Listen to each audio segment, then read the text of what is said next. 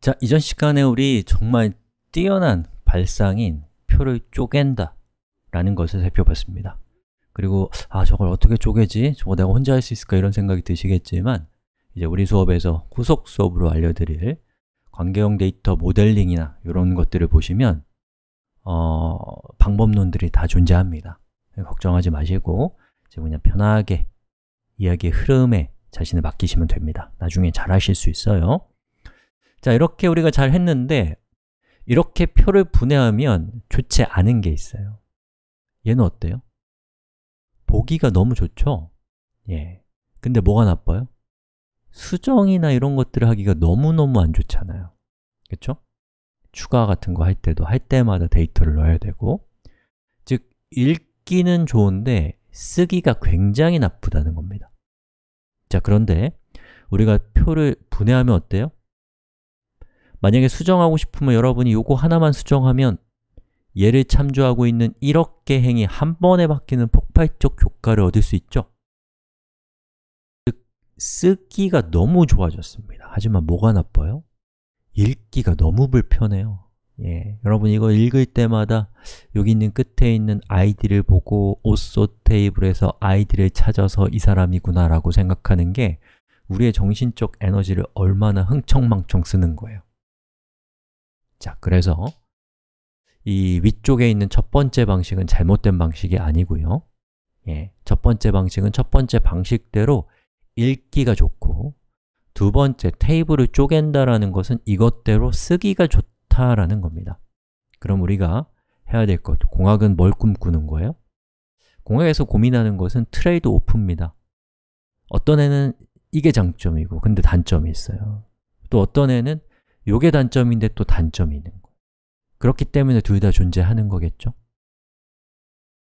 과학의 최종적인 목적은 어, 서로 장점과 단점을 달리하는 것들을 합성해서 마치 장점만 존재하는 것이 존재한 것과 같은 환상을 만들어내는 것이 공학의 지상과제잖아요, 지상과제 그럼 어떻게 하면 그것을 할 수 있을까? 그것을 할 수 있게 도와주는 기술이 바로 조인이라는 겁니다. 조인. 여러분, 조인이 뭐예요? 결합한다는 뜻이죠. 즉, 우리가 이렇게 잘 표를 분리한 다음에 우리의 필요에 따라서 표들을 순간순간 필요할 때마다 조립해서 마치 원래 이렇게 조립된 상태로 저장되어 있었던 것 같은 판타지를 만들어내는 것. 그것이 바로 조인을 통해서 할 수 있는 일입니다 그리고 그것이 관계형 데이터베이스의 정말 중요한 기능이에요.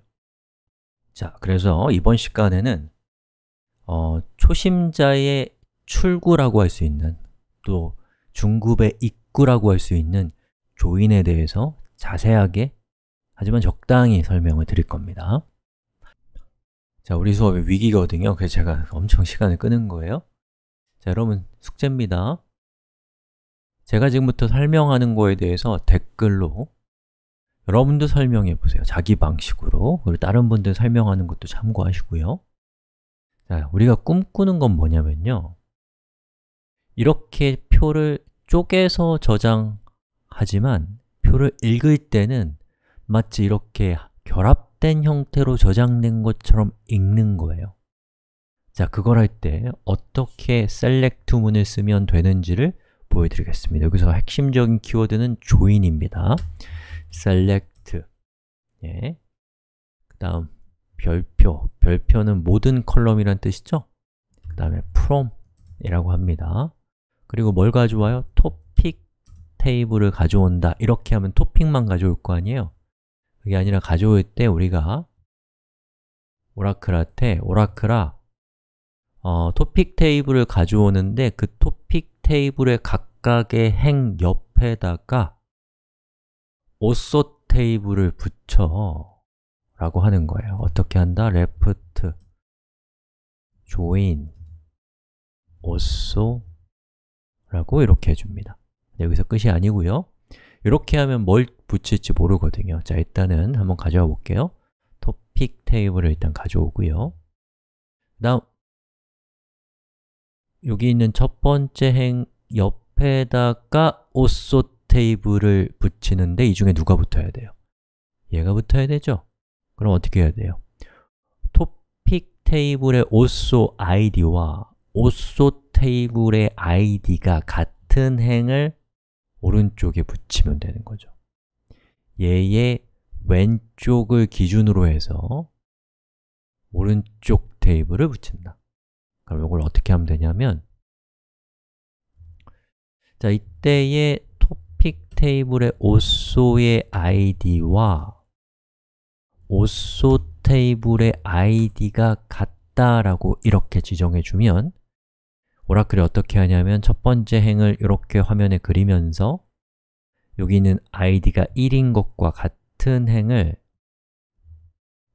이렇게 붙여줍니다 그리고 두 번째 행을 만들면서 id와 같은 행이 누구예요? 얘잖아요 그러면 이렇게 붙여주는 거 얘는 어떻게 돼요? id가 2니까 여기 있는 이 사람을 가져와서 이렇게 붙여주는 거예요 그래서 여러분 이제 표를 이렇게 쪼개서 저장했지만 표를 읽어올 때 select 문을 사용할 때 join이라는 것을 쓰게 되면은 이렇게 저장된 것과 같은 일루전을 만들 수 있다 라는 것이 join의 환상적인 기능이고 바로 이 기능으로 인해서 관계형 데이터베이스가 40년인가 50년 동안 데이터베이스 시장을 지배했다고 해도 과언이 아닌 환상적인 기능이에요. 정말 어마어마한 기능입니다. 자, 여기까지고요. 우리 다음 시간에는 이것을 실제로 실습으로 해볼 건데 실습하기 전에 여러분이 댓글로 제가 한 얘기를 설명하실 수 있어야 돼요. 그래야지 자기가 설명한 걸 보고 자기가 잘 이해하고 있는지를 교차, 정, 교차 검증할 수 있거든요. 여기까지 하겠습니다. 다음 시간에 뵐게요